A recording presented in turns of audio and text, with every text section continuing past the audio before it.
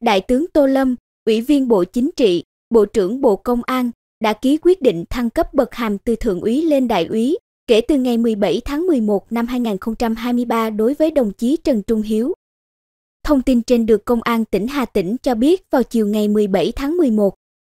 Như báo Sài Gòn Giải phóng Online đưa tin, trước đó, khoảng 15 giờ 45 phút ngày 13 tháng 11, Thượng úy Trần Trung Hiếu, sinh năm 1992, cán bộ công an xã Xuân Hồng, huyện Nghi Xuân, tỉnh Hà Tĩnh, đang làm nhiệm vụ thì phát hiện đối tượng Trần Trọng Gia Bảo, sinh năm 1997, trú thôn 1, xã Xuân Hồng, huyện Nghi Xuân, có biểu hiện nghi vấn mua bán trái phép chất ma túy. Khi Thượng úy Hiếu áp sát để bắt quả tang, thì bất ngờ bị đối tượng dùng kéo đâm nhiều nhát, gây thương tích nặng. Sau sự việc, công an xã Xuân Hồng cùng người dân đưa Thượng úy Hiếu đi cấp cứu và bắt giữ đối tượng Bảo đưa về trụ sở để điều tra. Ngày 16 tháng 11, cơ quan cảnh sát điều tra công an tỉnh Hà Tĩnh đã ra quyết định khởi tố vụ án, khởi tố bị can, lệnh bắt tạm giam Trần Trọng Gia Bảo về hành vi giết người. Trong 4 ngày qua, các cán bộ, chiến sĩ và người thân, người dân đã hiến máu để cứu Thượng úy Trần Trung Hiếu. Các bác sĩ của Bệnh viện Đa khoa thành phố Vinh, Bệnh viện Hữu nghị Đa khoa Nghệ An, đoàn bác sĩ Bệnh viện Việt Đức cũng tận tình cứu chữa, nhưng do vết thương quá nặng Thượng úy Trần Trung Hiếu đã hy sinh vào lúc 6 giờ 35 phút ngày 17 tháng 11 năm 2023.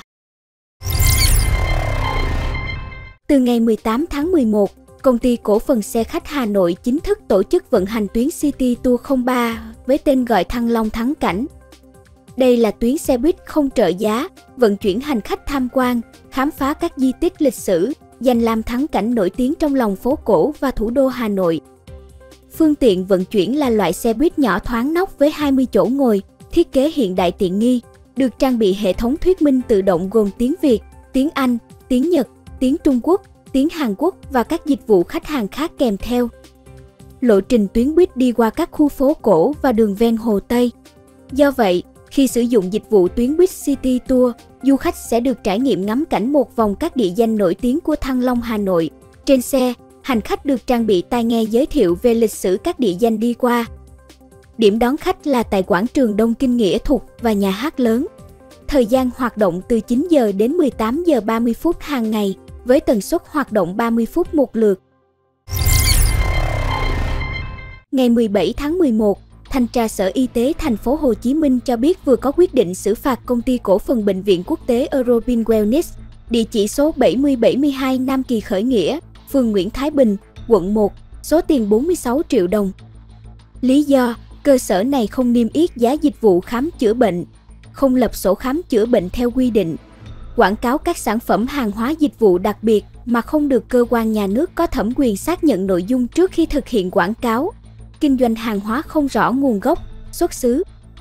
Cũng tại cơ sở này, Thanh tra Sở Y tế thành phố Hồ Chí Minh cũng có quyết định xử phạt bác sĩ chuyên khoa nội Phù Văn Hưng với số tiền 2 triệu đồng vì không lập hồ sơ bệnh án theo mẫu quy định của pháp luật.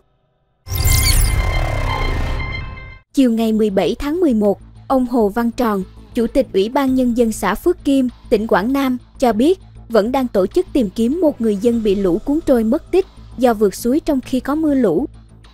Trước đó, vào ngày 16 tháng 11, bốn người gồm hai cặp vợ chồng đi làm ở rẫy tại xã Phước Kim.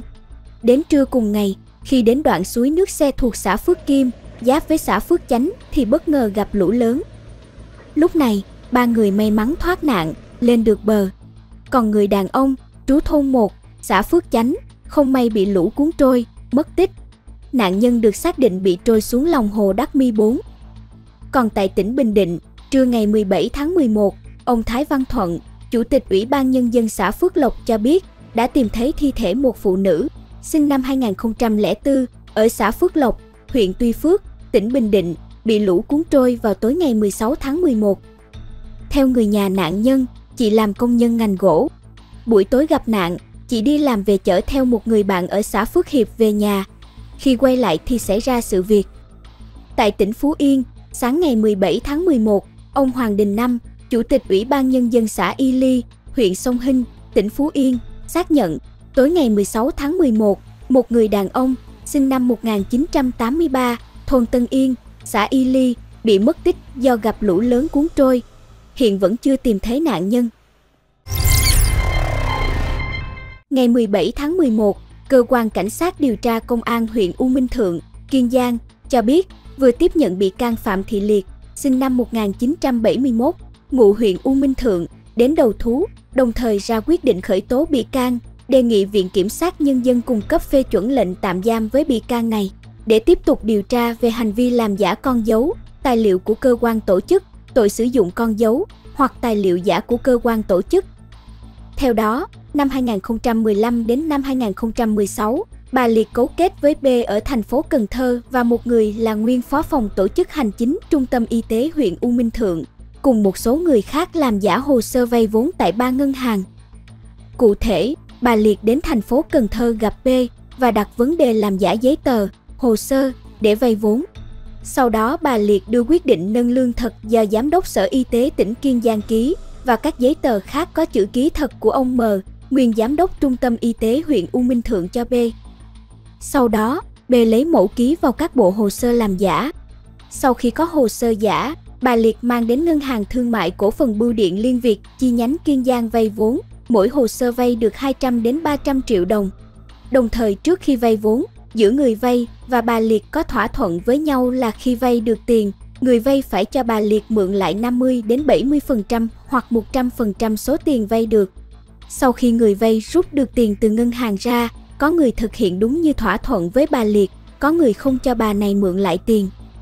Tổng cộng, bà Liệt làm giả 56 bộ hồ sơ vay vốn ngân hàng trên với số tiền hơn 8,1 tỷ đồng, trong đó người vay vốn nhận được hơn 2,6 tỷ đồng, bà Liệt nhận được hơn 5,4 tỷ đồng. Đến nay, những người vay vốn và bà Liệt đã trả được cho ngân hàng số tiền trên 1,3 tỷ đồng. Cùng với thủ đoạn tương tự, bà Liệt làm giả 9 bộ hồ sơ vay vốn tại Ngân hàng Thương mại Cổ phần Việt Nam Thịnh Vượng chi nhánh Kiên Giang với số tiền 509 triệu đồng, làm giả 14 bộ hồ sơ vay vốn tại Ngân hàng Thương mại Cổ phần Hàng hải Việt Nam chi nhánh Kiên Giang với số tiền hơn 1,3 tỷ đồng.